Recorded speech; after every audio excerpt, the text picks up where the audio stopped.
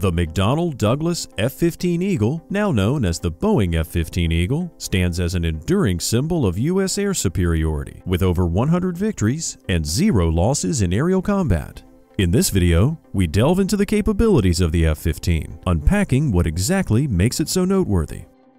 The roots of the F-15 can be traced back to the late 1960s, when the United States Air Force sought a superior air-to-air fighter. Interestingly, development of the fighter jet was due to fear around the USSR and its development of the MiG-25. As the Aviation Geek Club notes, by reacting to Soviet propaganda rather than reality, the Americans built the premier air superiority fighter of the 20th century. In 1969, after evaluating various proposals, the Air Force chose the design put forth by McDonnell Douglas.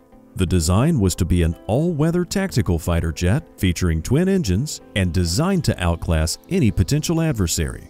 F-15s are equipped with Pratt & Whitney F-100 engines, achieving a combat thrust-to-weight ratio exceeding 1 to 1, allowing them to pitch straight up while maintaining airspeed. The inaugural flight of the F-15A took place on July 27, 1972, with the two-seat F-15B completing its maiden flight a year later. The aircraft entered service in January 1976.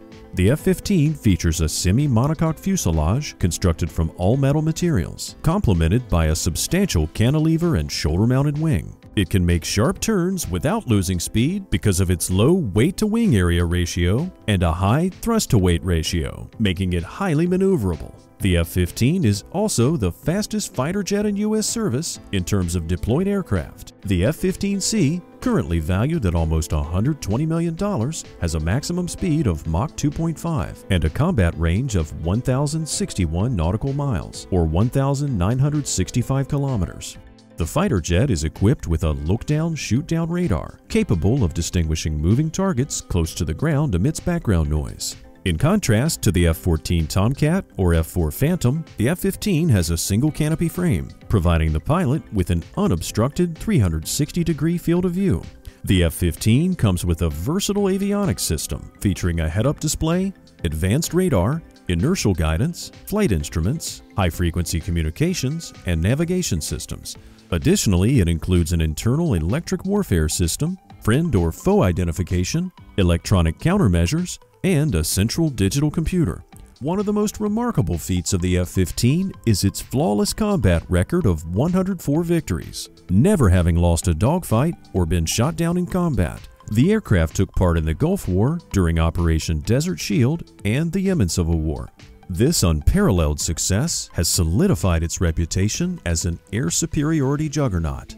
In 1985, an F-15 nicknamed Celestial Eagle made history by destroying a satellite called Solwind P-78-1. This was the first and only time a jet achieved an air-to-space kill.